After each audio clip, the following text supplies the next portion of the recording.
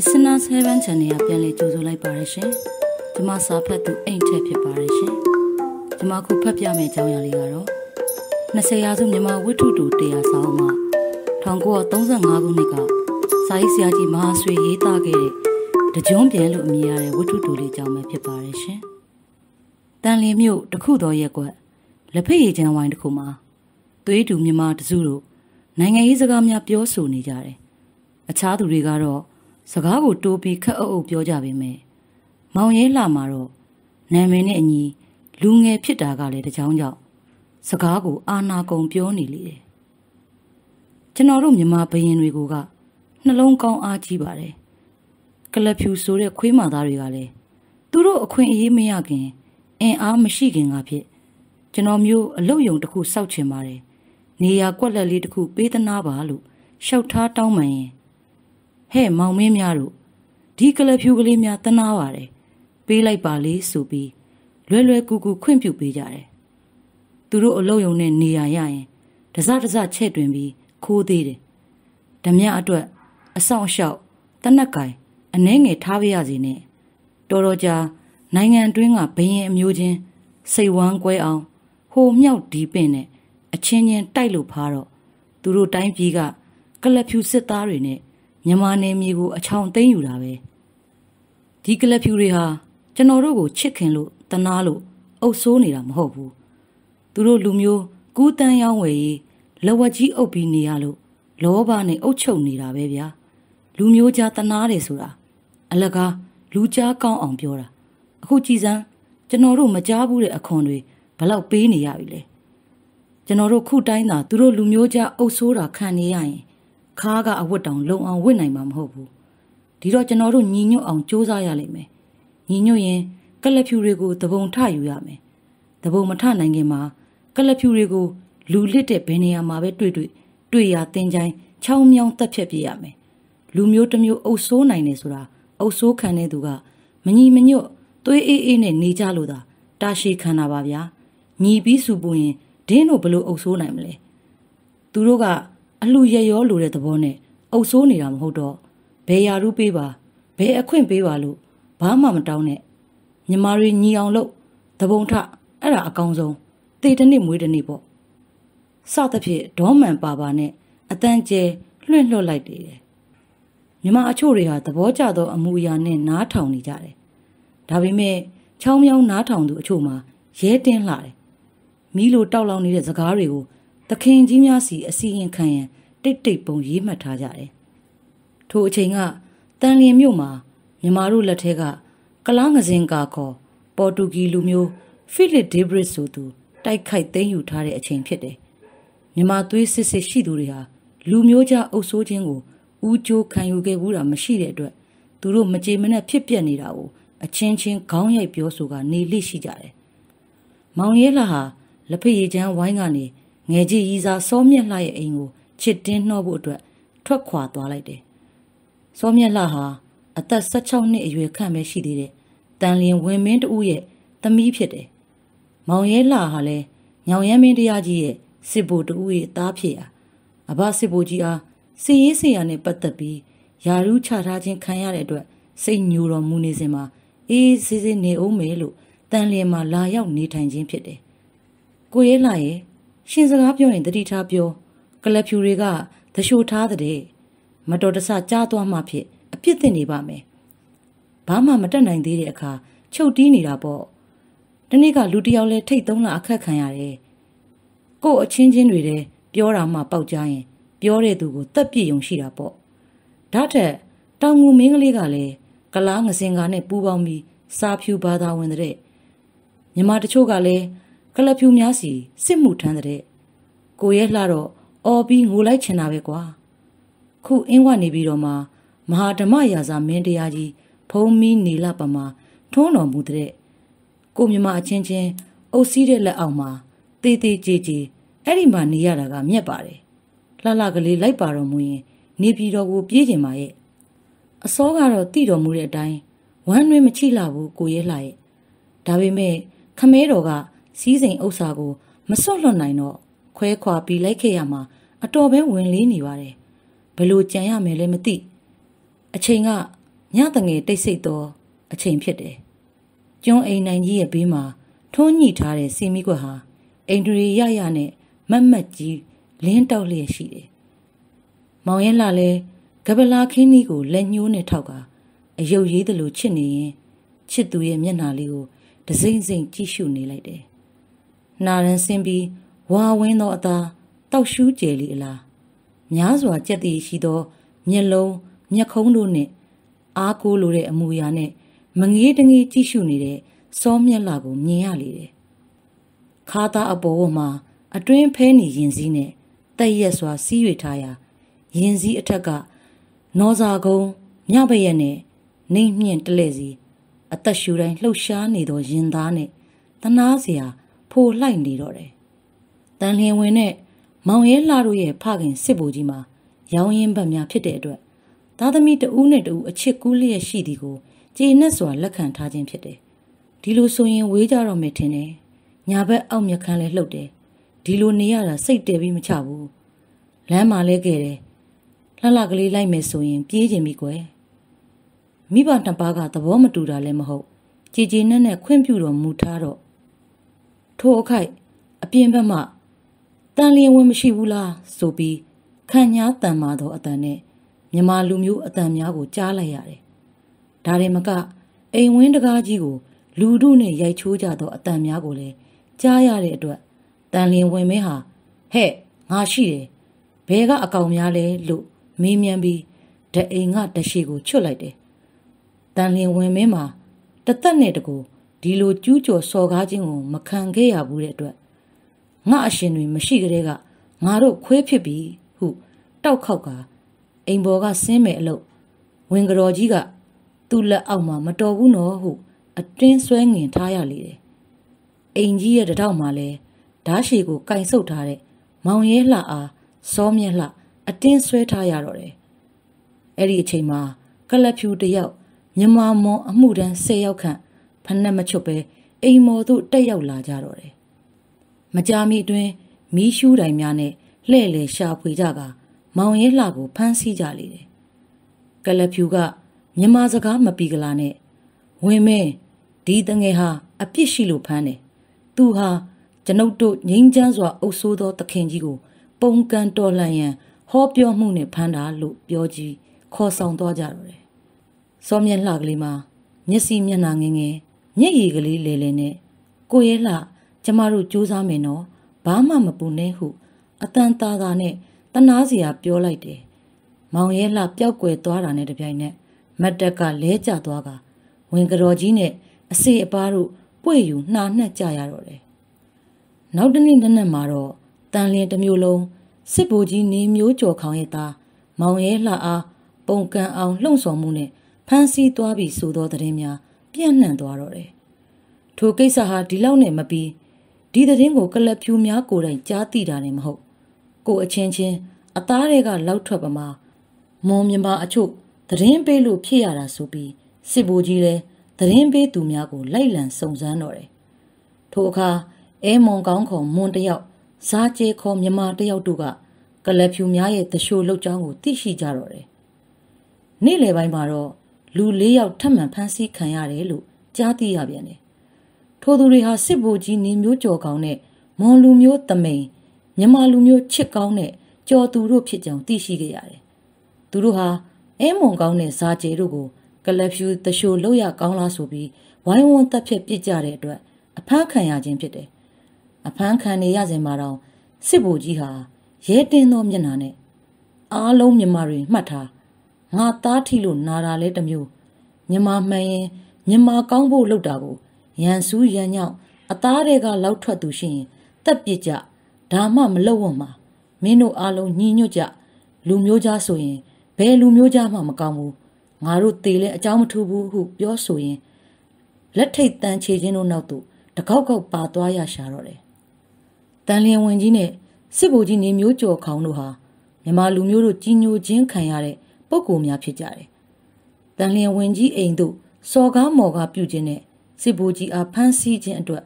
မြန်မာလူမျိုးများဟာအခဲမကြည်အောင်ဖြစ်နေကြတယ်။တို့ရတွင်ကလဖြူများမှာလက်နက်အားကိုနဲ့အုပ်ချုပ်ခြင်းကြောင့်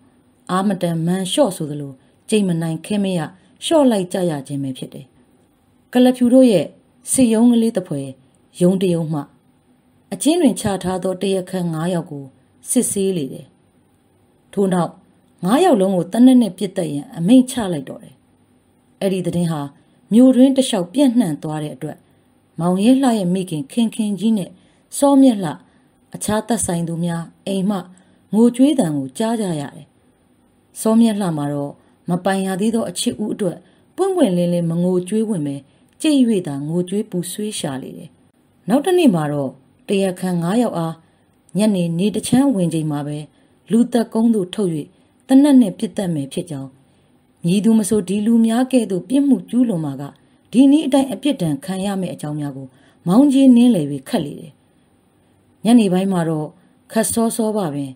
လူသက်ကုန်းမှာလူများစီကားနေလေတယ်။နေထန်းတပြားရော့ရော့မှာပဲတရခံများကိုခေါ်ဆောင်လာရာယောက်ျားကောင်းပြီးပြီးအပြုံးအရီမပြက်သေတယ်ဆိုတာအထူးအဆန်းမဟုတ်သည်ကိုအမှန်တိုင်းနားလေသည့်လက္ခဏာနဲ့ လိုက်ပါလာခဲ့ကြတယ်။ထိုအခိုက်ပြိတ္တထဲမှာလှုပ်လှုပ်ရွရွဖြစ်ကာမိမကြီးတူအားဝိုင်းဝန်းနှိမ့်နေနေတာကိုတွေ့ရတယ်။တဦးကဖြစ်မှဖြစ်ရလေဘူကတော်ကြီးရဲ့ဘူကတော်ကြီးတားရောလင်ပါဒီမှာအသက်ခံရတော့မှာဘယ်သူဒုက္ခမရောက်ပဲနေမလဲလို့ပြောဆိုနေကြတယ်။ခင်ခင်ကြီးကတတိယရာနဲ့တပြိုင်နက်အိုးကိုရဲကောင်ရဲ့ရဲလာကြီးလူကလေးရဲ့ရှင်ခွဲမကွဲတေခွဲကွဲကြဖို့ကွယ် သူများတွေလိုဖျားနာလို့တင်ရင်တောင်ကောင်းကောင်းမွန်မွန်တကြိုနိုင်သေးတယ်မင်းတို့မှာတော့တေချင်းစိုးနဲ့မိမိအသေးဆွဲနှုတ်သွားကြတာလားကွယ်ဟုအော်ဟစ်လဲကျသွားပြန်သဖြင့်တပန်အစေပါမိန်းကလေးများနဲ့ဘေးလူများကဝိုင်းဝန်းနှိမ့်နေကြရပြန်တယ်ဒီလိုပူဆွေးငိုကြွေးတံကိုဘယ်သူမဆိုနှလုံးကိုမထိခိုက်ပဲရှိနိုင်ပါမလဲရဲလာနဲ့နေမျိုးကြော်ကောင်တို့လည်းမျက်ရည်ဝိုင်းပြီးအန်သွားခဲနေတာကိုမြင်လိုက်ကြရတယ်ခင်ခင်ကြီးဟာ ကျုပ်သားနဲ့ကျုပ်လင်ကိုခွဲပြီးမနေနိုင်ဘူးဟုအတင်းပြေးသွားပြန်တာကြောင့်ဆွဲထားကြရပြန်တယ်တရခန်9ယောက်အားခြေချင်းများဖြုတ်ပြီးလက်ထိတ်ကိုသာနောက်ပြန်ခတ်ပြီးမတ်တက်ရက်ခိုင်းထားတယ်သူတို့ကြောဘက်မှာတော့အုံနိုင်ရန်တစ်ခုရှိတယ်နေမျိုးကြောကောင်တမိန်ကြောသူချစ်ကောင်ရဲလှဒီအတိုင်းစီတန်းပြီးလေးတောင်ခန့်ချားထားတယ်ဆိုင်ရာအကြီးအကဲများထံမှမှာခြင်းဟာမှားထားခဲ့လို့ အခွင့်ရတဲ့အတွက်စစ်ဘိုလ်ကြီးကမင်းတို့အခုကြည့်တဲ့ပြိတ္တထဲမှာမြန်မာနဲ့မွန်တွေပါကြတယ်မြန်မာနဲ့မွန်ဟာဘာသာတူတိုင်းပြည်တူလူမျိုးလဲတိတ်မချားနာလှဘူးဒီမြန်မာပြည်ဟာတိုင်းရင်းသားတို့အမွေအနှစ်ဖြစ်တယ်ဘယ်လူမျိုးကြားလက်အောက်မှာမှိန်ပြီးမခံရကြလိမ့်နဲ့အသက်သေးတော့လဲစိတ်တည်မသေးနိုင်ညီညီညွတ်ညွတ်တပုံထယူကြပါလူတစ်မျိုးအုပ်စီးချင်းခံရသောသူဟာ တည်သူနဲ့မချာများစွာဝင်လေးတဲ့အလုပ်ဖြစ်တယ်မြမပြည်ဟာကဘာကြေတော်လဲဥဒန်းမကြေတော်လူမျိုးဖြစ်ကြတယ်ငါတို့ဟာအခုအမျိုးသားအတွက်ရှေးဦးစွာအသက်ဆုံးပြီးနမူနာပြခဲ့ပြီးမြမလူမျိုးကောင်းစားရေးပြောမိလို့ငါတို့အပြစ်ခံရတာငါတို့အတိဒုက္ခခံရကြိုးနဲ့အောင်ကြံရစ်သူများကစူးစမ်းပေးကြပါဟုမှားထားပြီးလူနေရာကိုပြင်ဆင်လေတယ်ကြိတ်ကြိတ်တိုးနေတဲ့လူတူကြီးများကိုလည်းအဆောင်အကျက်များကရှင်းလင်းနေကြရတယ် တနက်နဲ့ပြင့်မဲ့သူများမှာမြန်မာ၃ယောက်မွန်၂ယောက်ကလဖြူရဲ့ကြုံများဖြစ်တယ်စစ်ဘိုလ်ကြီးဟာတနက်သမားများကိုကြည့်ပြီးနောက်ကြည့်ကြကွယ်မြန်မာကောင်းစားဖို့လုပ်တာကငါတို့မြန်မာဟောငါတို့ကိုတနက်နဲ့ပြင့်မှာကဘာလူမျိုးလဲမြန်မာပဲကွယ်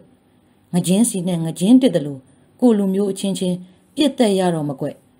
ထမင်းလေးတစ်လုံးအတွက်လူဖြစ်ရှုံးလိုက်လေခြင်းရာဇဝင်ရိုင်းလေခြင်းဟုအော်ဟစ်နေရာ အကြီးအကဲလုပ်သူကလဖြူကစကားမပြောရန်တားမြစ်တယ်ငါးယောက်စလုံးကတေရမှာပဲပြောမယ်ကွာဘာဖြစ်တယ်လဲဟုအော်ဟစ်တဲ့အတွက်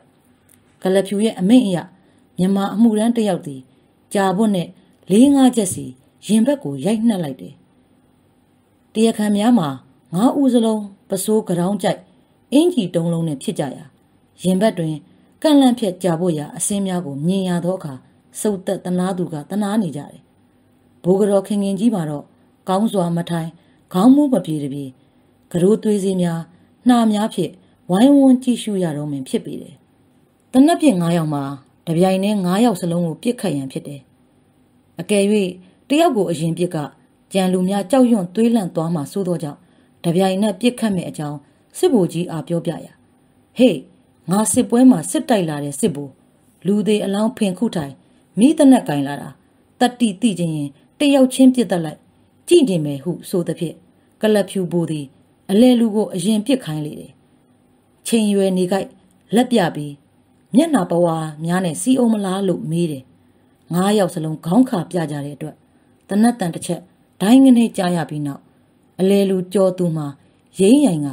ရှေ့သို့မှောက်လျက်လဲကျသွားတော့တယ်အသက်မထွက်သေးခင်တလိမ့်နှလိမ့်လှိမ့်ရာဘေးကတမိန်နဲ့ ချစ်ကောင်းဟာအလောင်းကိုခြေနှစ်ကန်ကြောက်ကဖယ်လိုက်ကြတယ်လေးဦးသားအတန်ထွက်ရီးလိုက်ကြတယ်သူတို့မျက်နာမှာယူသွတိမျက်နာမပေါ်တဲ့အတွက်တတ္တိကိုချီးမွမ်းကြလေတယ်ရှေးအခါကနေယနေ့တိုင်မြမလူမျိုးတို့ရဲ့ဓလေ့ကလူတက်တာကိုငားများသူအားကြည့်ရသလိုအပျော်အပါအလုပ်လို့ထင်မှတ်ကြတယ်ဘယ်မှာဘသူကိုတတ်မလို့တဲ့ဆိုရင်ဥရဖားရနဲ့အပြေးသွားကြတယ်တေချင်းသဘောမှာမြမာတို့ရဲ့လက်ကင်တရားဖြစ်ပြီး တေတာများကိုမြမာများကခလေးကစားသလိုထင်မှတ်ခဲ့ကြတယ်ကဘာပေါ်မှာတေရမှာမကြောက်တဲ့သူမရှိပါဘူးဒါပေမဲ့တေရင်းကိုဘယ်နည်းနဲ့မှယုံရမရမှန်းသိရဲ့ကြောက်သူတွေရှိကြတယ်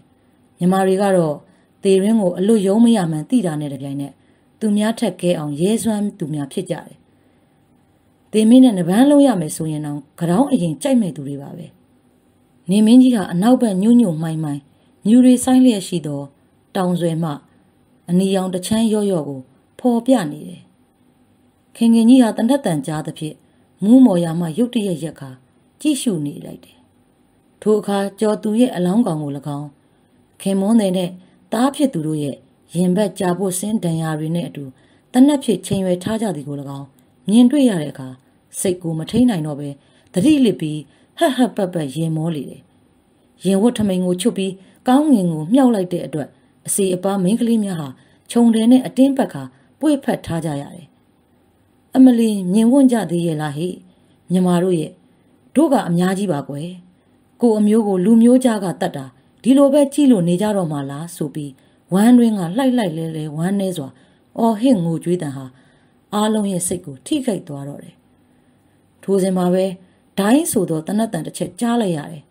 အများသူငါတွေတော့ဘသူ့ကိုအရင်ပြစ်တက်လိုက်တာလဲလို့ ကြည့်လိုက်ကြတဲ့အခါတရခံလေးယောက်မှဘာမှမဖြစ်သခင်ဖြစ်သူကလဖြူမှာမတ်တက်မှလဲကျသွားတော့တယ်တနက်ပြစ်သမားများဟာစိတ်တစ်မျိုးပြောင်းပြီးအချင်းချင်းပြစ်ခတ်ကြတာဖြစ်တဲ့အတွက်လူအများရုပ်ရုပ်ရုပ်ရုပ်နဲ့ပြေးလွှားကုန်ကြတယ်အကျဉ်းသမားများလိုကိုလည်းအချို့ကပြေးပါတော့လားပြေးပါတော့လားဆိုသဖြင့်လက်ထိတ်ကိုအုံနယံနဲ့ရိုက်ချိုးကလွတ်ရလွတ်ကြောင်ပြေးသွားကြပါတော့တယ်တန်လင်းမျိုးရင်းတို့ပြေးဝင်စင်မှာပဲမြမအမှုတန်းများကတစ္ဆာဖောက်၍ အကျဉ်းသားကိုမတက်ပဲဘိုလ်လုတ်သူကိုပြန်တက်ကြောင်းများအော်ဟစ်ပြောသူကပြောကလပ်ဖြူစစ်တက်ကလေးသည်လဲတနက်တန်တိုင်းတိုင်းနဲ့လူသက်ကုန်းတို့ပြေးလိုပြေးနဲ့တန်လျင်မြို့ပြတ်မတက်စူပူသွားတော့တယ်။ထမင်းအိုးတစ်လုံးချက်ခန့်ကြာပြီးတဲ့အခါသစ္စာဖောက်သောမြမ၃ယောက်အနက်၂ယောက်ဟာတနတ်မှန်သေးဆုံးကြောင်းကြံတယောက်နဲ့အကျဉ်းသား၄ယောက်မှာယခုတိုင်ရှာမတွေ့သေးကြောင်းတမျိုးလုံးတို့လူစုလူဝေးလက်နက်အင်အားနဲ့လိုက်လံရှာဖွေနေစေဖြစ်ကြောင်း လူကောင်းများအကူအသန်းမရှိရကူရင်တနက်နဲ့ပြစ်မဲလို့ချက်ချင်းမောင်းခတ်တံများကိုလည်းကြားလိုက်ရတော့တယ်။တန်လင်မျိုးဂုံးဘက်မှာတော့မြမာနဲ့မွန်တို့ဝင်ရောက်တိုက်ခိုက်မှာကိုစိုးရိမ်တဲ့အတွက်ခံကရုတ်များစစ်တပ်များခြေရာဇက်များချထားကြတယ်။ထွက်ပြေးသူများမှာထိုအကြောင်းကိုသိခဲ့တဲ့အတွက်ကုန်းဘက်ကိုမပြေးပဲပင်လယ်ဘက်သို့တစ်ပင်တပင်ကွဲအိမ်တအိမ်ကန့်နဲ့တကွဲတပြားစီပြေးကြတော့တယ်။မီးရှူးတိုင်းမှန်အိမ်များနဲ့လိုက်လံရှာဖွေသူတို့မှလည်း ရိတ်ခနဲမြင်ရင်ဒိုင်းခနဲနေအောင်လှမ်း၍ပြစ်ခတ်ကြတော့တယ်တခါတရံတနက်ကြီးစံများဟာနှထင်နားကနေဝှီးကနေမြည်အောင်ဖြက်ပြေးကြတယ်။ကန်းဆက်မှာလဲကြောက်ဆူးချလျက်ကလပ်ဖြူစစ်သင်းမော၄၅စင်စိုက်ကတ်ထားတဲ့အတွက်သင်းမောတွေနဲ့ဝေးနိုင်သမျှဝေးအောင်ပြေးကြပါတယ်။၎င်းတို့ကံကောင်းခြင်းကမှောင်မိုက်ခြင်းပဲဖြစ်တယ်။ဝါတရိတ်ခန့်ကွာရင်လူတစ်ယောက်နဲ့တစ်ယောက်လုံးဝမမြင်ရ။၄၅တောင်လောက်ကွာရင်တော့မြေကြီးကိုကပ်ပြီး အလျားမှောက်ကြည့်ရင်မြင်နိုင်ပါသေးတယ်။ဒါအပြင်လိုက်တဲ့သူတွေမှာမီးရှူးမှန်အိမ်ပါတဲ့အတွက်ရှောင်းတင်းရာမှာပို့ပြီးလွယ်ကူကြတယ်။တဝဲကကုန်းတင်တန်မန်တစင်းဟာကန်းဆက်မှာစိုက်ကက်လျက်ရှိရာတန်မန်ပေါ်မှာတော့မိန်းမတစ်ယောက်ယောက်ျားတစ်ယောက်ရှိနေတယ်။တိုင်ပင်ထားခြင်းမရှိဘဲလူနှစ်ယောက်ဟာရေထဲမှာတရွေ့ရွေ့တန်မန်စီသို့လာကြတယ်။နီးလာတာနဲ့တပြိုင်နက်တတန်မန်ဘောကနှစ်ယောက်ကိုမအော်ရန်ဓားပြပြီးကျိုးနဲ့တုံနှောင်က ပါဇက်ကိုအဝတ်ဆုပ်ပြီးကန်းဆက်မှာချထားလိုက်တယ်။တဖန်အခြားရေဆက်မှာကျဲရောင်နဲ့ခေါင်းတစ်လုံးကိုမြင်လိုက်ရပြန်တယ်။ထိုခေါင်းဟာလည်းတန်မန်စီကိုလာပြန်တယ်။သုံးဦးသာတီးတိုးပြောဆိုကအချင်းချင်းတိတာနဲ့တပြိုင်နက်တန်မန်ကိုကန်းငတ်ခွာမယ်အလို့ဘိုးကြီးလားဟုတိုးတိုးလေးမေးတန်ကြားလိုက်ရတယ်။မကြမီလူနှစ်ယောက်တန်မန်စီကိုလာကြလေတယ်။၎င်းတို့မှာတရခန်၄ယောက်ဖြစ်ပြီးလူတယောက်တိုးလာတာကိုစစ်ဆေးခြင်းမလုပ်နိုင်ပဲ အလင်းအမြန်ခွာလိုက်ကြတယ်။အဲ့ဒီအချိန်မှာပဲမှန်အိမ်နဲ့မီးရှူးတိုင်များကမ်းနားဘက်ကိုအပြေးလာရှာတာကိုမြင်ရတဲ့အတွက်တက်များချိတ်တက်ခါအတင်းလှော်ခတ်ကြတော့တယ်။ကမ်းနဲ့ဂိုက်300လောက်အကွာရောက်တဲ့အခါမှာကမ်းဘက်ကတတိုင်းတိုင်းနဲ့ပြစ်ခတ်တံတွေကိုကြားလိုက်ရတယ်။ကြည်စံများဟာတန်မှန်ဘေးမှာမိုးသီးကြတယ်လို့တဆွတ်ဆွတ်ကြ၍နေတော့တယ်။ငါးဦးသားတဦးကပဲ့တဦးကအတင်းအားကုန်ခတ်ပြီး ကန်းနဲ့ဝေးတဲ့ဝေးအောင်ခွာလိုက်ကြတယ်။ကွန်းတရားညှက်ခန့်ကြတဲ့အခါ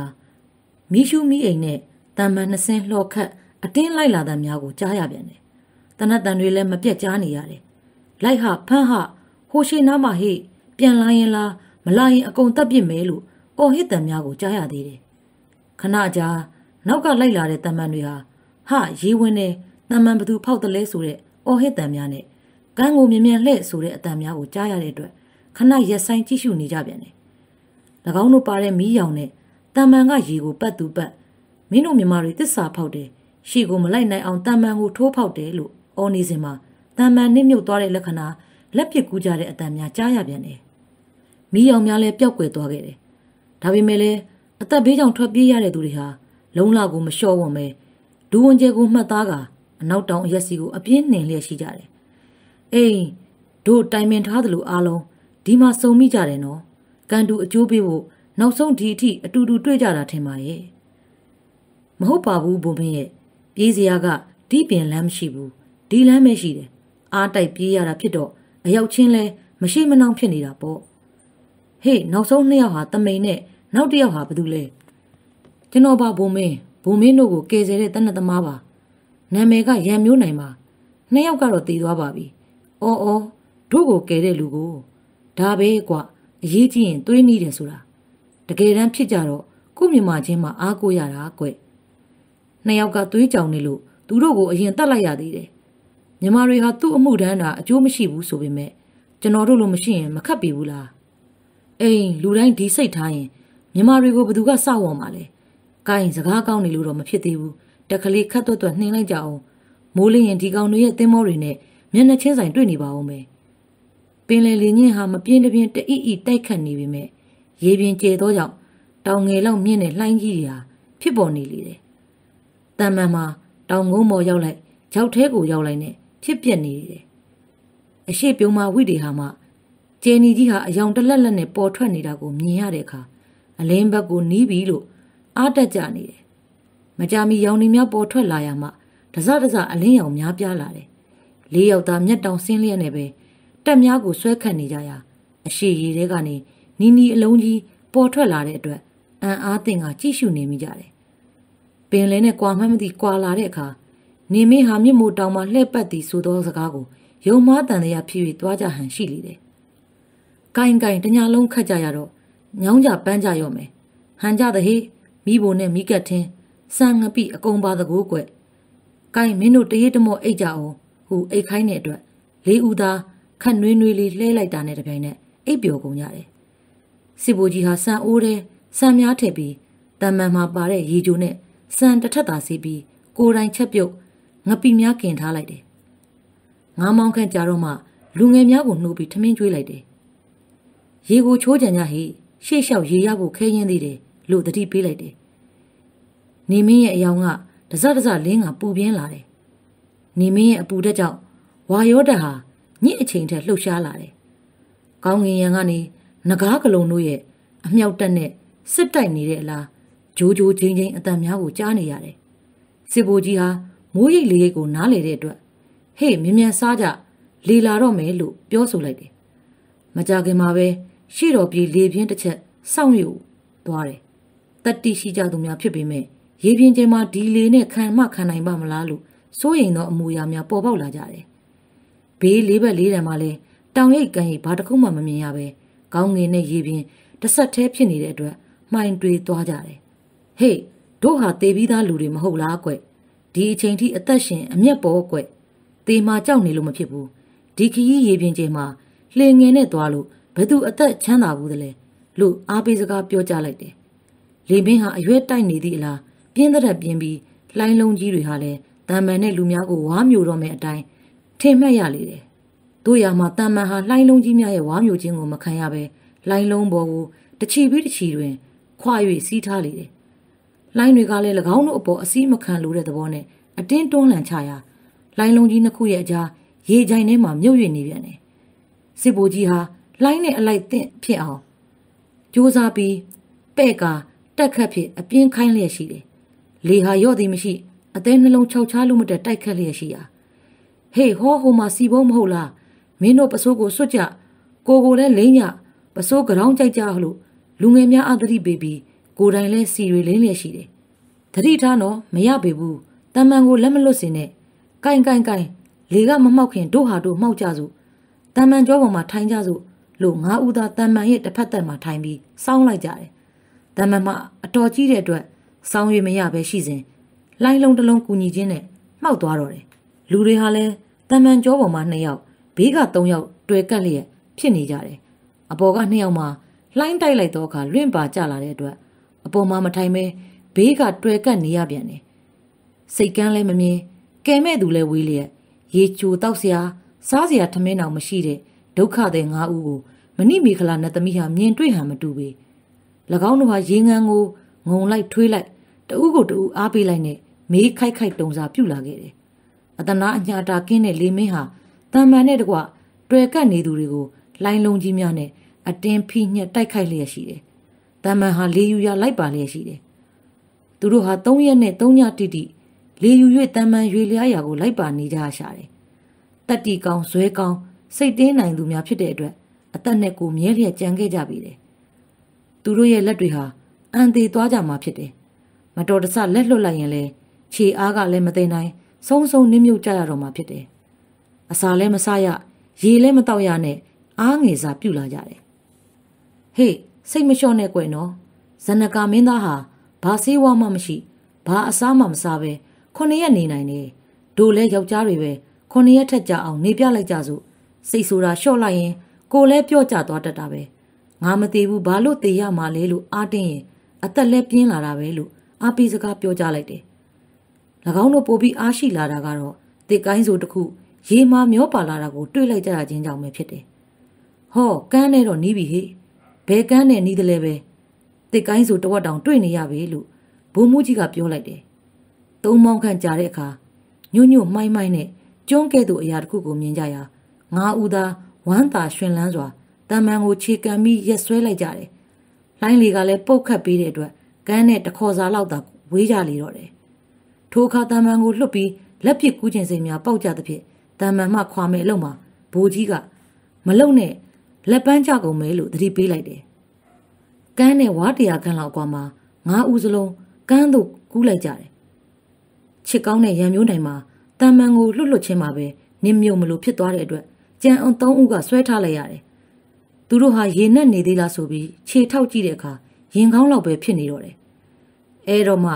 ကန်းဆက်လိုင်းနေတဲ့မိတ်လွတ်ကင်းအောင်တဖြည်းဖြည်းတက်ခဲ့ကြတယ်။လူတွေဟာဘလောက်တောင်ပင်ပန်းခဲ့မှန်းတော့မသိကန်းတို့တယောက်မှမတက်နိုင်ကြပဲလေးဘက်တွားပြီးသာတက်နိုင်ကြတော့တယ်။အေးရီတွေလည်းပြက်တော့ကြောင့်မြေချောက်မှာခေါင်းချတာနဲ့တပြိုင်နက်အိပ်ပျော်ကသွားကြတော့တယ်။နှစ်ဘိုးခန့်ကြတော့ငါးဦးသားနိုးလာကြတယ်။ရိုက်နှက်ထောင်းထုခံရသူတွေလိုမိမိတို့ကိုကိုမနဲ့ဟန်လို့ထကြရတယ်။ရဲလာကတော့လူငယ်လည်းဖြစ်တန်မာတာကလည်းဖြစ်တာတကြောင်ကြောင့် ကုန်းရဲ့အထက်ကုန်းကိုတက်ပြီးဟိုဟိုဒီဒီရှာဖွေကြည့်လိုက်တယ်။ထိုအခါအုံးမင်းနဲ့အုံးသည်အမြောက်အများကြွေကြနေတာကိုတွေ့ရတဲ့အတွက်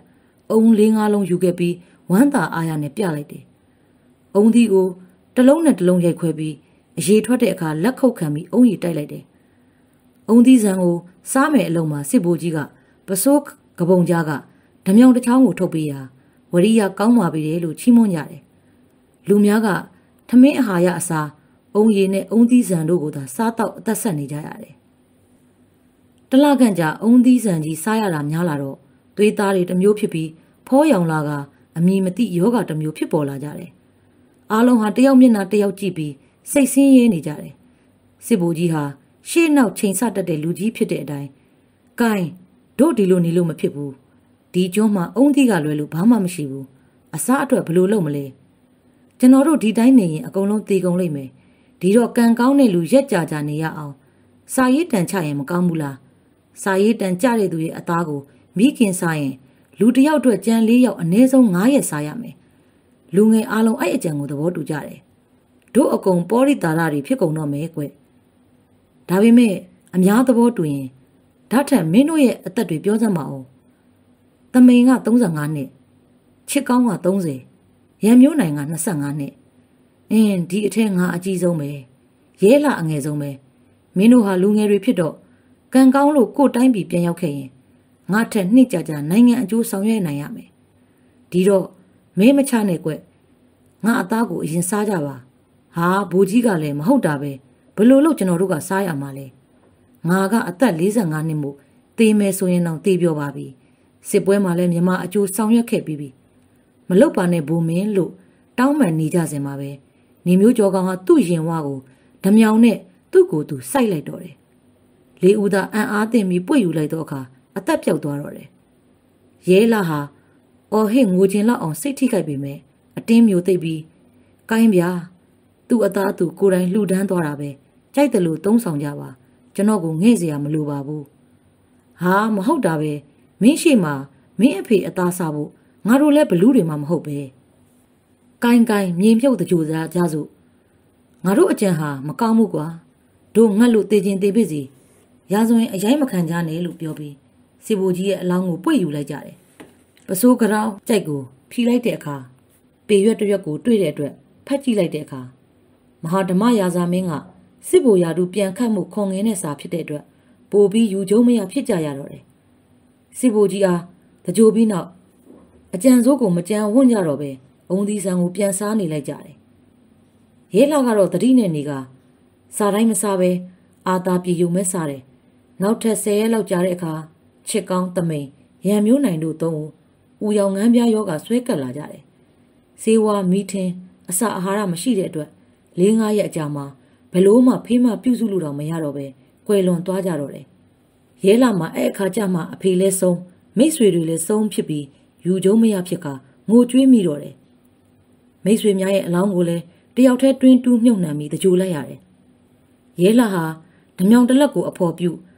ကျုံးထဲမှာနေရင်ညအချိန်တွေမှာကန်းဆက်မှရေကူးလာသူများကို၎င်းကျုံးဘေးမှာလမ်းလျှောက်သူများကို၎င်းမြင်တွေ့နေရတယ်။မိษွေတို့ရေအမျှအမျှကျုပ်ကိုမချောက်ကြပါနဲ့။ကျုပ်လည်းမိษွေတို့နဲ့အတူတူတနေ့လိုက်လာရမှာပါလို့တိုးတိုးလေးပြောဆိုလိုက်တယ်။ထိုအချိန်မှာငယ်ချစ်စောမျက်လှကလေးရဲ့မျက်နှာကိုခါတိုင်းဖြတ်ထူးထူးကြုံကြုံပေါ်လာပြန်တဲ့အခါ လူသူကင်းမဲ့တဲ့ကျွန်းကြီးမှာလူသေးမြေပုံတွေရဲ့ဘေးကအချိန်မရွေးတယောက်တည်းအစားအသောက်မပြည့်စုံပဲအတိဒုက္ခရောက်နေရတာကို တွေးတောပြီးမျက်ရည်ပေါက်တို့ဟာအစီအတားမဲ့ကြဆင်းလာကြတယ်။ရဲလာဟာဒီနီးအတိုင်းညတွေမှာတစေ၆ခန့်ရနေ့မှာအုံသီးဆန်စားကနေရင်ဆယ်ရက်လောက်အကြာမှာ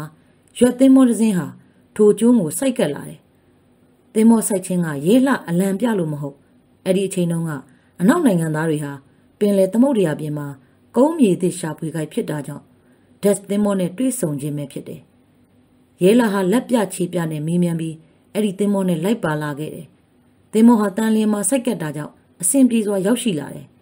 ။ရဲလာအားကိုးလိုက်တာကသူ့ရုပ်ရည်ကိုတန်လျင်ကလူများမမှတ်မိနိုင်တဲ့အခါတန်လျင်ကဖြတ်ပြီးအင်းဝနေပြီးတော့ကိုတွားရောက်အမှုထမ်းမယ်လို့ကြံရွယ်လိုက်တယ်။တို့ရရင်တန်လျင်မြို့မှာဆိုင်းတန်ဘုံတန်ရေးကင်းတန်နဲ့ တညံညံဖြစ်နေတဲ့အတွက်စုံစမ်းကြည့်လိုက်တဲ့အခါတန်လျင်မြို့ကိုမဟာဓမ္မရာဇာမင်းမြတ်တိုက်သိမ်းကြောင်းကလားငစင်ကာကိုသူ့တိုက်ရှိမှာတန်တန်ချင်းရှို့ထားကြောင်းကိုကြားသိရတဲ့အတွက်ရှေးဦးစွာမိဘအိမ်ကိုပြေးသွားလိုက်တယ်။မိခင်ကြီးဟာစိတ်တစားနဲ့ကွယ်လွန်သွားကြောင်းသိလိုက်ရတယ်။တန်လင်ဝင်မင်းအိမ်ကိုပြေးပြန်တဲ့အခါအစပထမတော့မမှတ်မိကြဘူး။အကျိုးအကြောင်းပြောမှရုပ်ကိုဖမ်းပြီးဝမ်းသာအားရဖြစ်ကုန်ကြတယ်။စောမြက်လာဟာအယိုးနဲ့အရေးသာကြံသောကိုကလေးနဲ့ဝမ်းသာပြုံးရွှင်စွာ နှုတ်ဆက်ရှာတယ်။တန်လင်ဝင်မင်းဟာရဲလှအားဂယုဏသက်သောမျက်နှာနဲ့ကြည့်ရှုပြီးအိမ်မင်းပြန်ရောက်လာတာအတော်ပဲဖုံတော်ကြီးဖះအောင်ပွဲခံတော့အကျိုးအကြောင်းတန်တော်ဦးတင်ရမယ်ငါကိုလည်းရှေးရာသူအဆောင်အယောင်ပေးသလားတော့မူမတဲ့နောက်လေးလခန့်ကြာတဲ့အခါတန်လျင်ဝင်မင်းမှာရှေးရာသူကိုရရှိပြီးရဲလာမှာအဖေရဲ့အရက်အရာအတိုင်းနေမျိုးကြော်ကောင်ပွဲနဲ့စစ်ဘူရာသူကိုရရှိသွားတော့တယ်တန်လျင်မှာ ကန်းဆောင်စစ်တက်ရှိပြီးထိုတက်ကြီးကိုကြီးမှုရတယ်အဲအချိန်ကျမှငယ်ချစ်စောမြင့်လာနဲ့မိဘတွေကထိမ်းများလက်ဆက်ပေးတဲ့အတွက်ဘုံမှုကလေးမှာအရင်ကဒုက္ခပေါင်းစုံတွေ့ခဲ့ရသမျှအတိုးချပြီးပျော်ရွှင်စွာနေရတော့တယ်။ရီးစားပူမိပြီးတပိန်ပိန်တညောညောဖြစ်နေတဲ့စောမြက်လှလေးလာဟာလဲအသားရည်ဆူပြပြီးမောင်တော်ဘုံမှုစစ်ကအပြန်ကြီးစဲစရာစကလုံးတွေနဲ့တပြုံးပြုံးဖြစ်ပြီးရွှေလက်တွဲကပျော်ပွဲဆင်၍ နေသွားကြပါတော့တယ်ရှင်။အားလုံးပဲကျေးဇူးများကြီးတင်ပါတယ်ရှင်။